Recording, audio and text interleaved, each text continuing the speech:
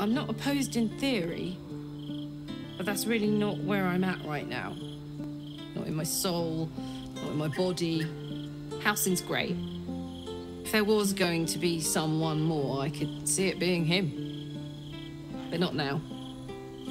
Probably not ever. You don't need to apologize.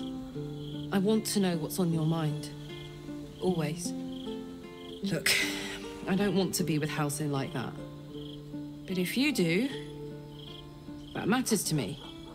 We've only got our lives after all. Short ones. Possibly very short with all the mad shit we get up to. Look at me. You're very important to me. Your happiness is very important to me.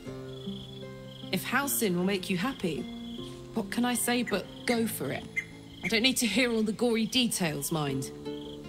Have a little fun while you can.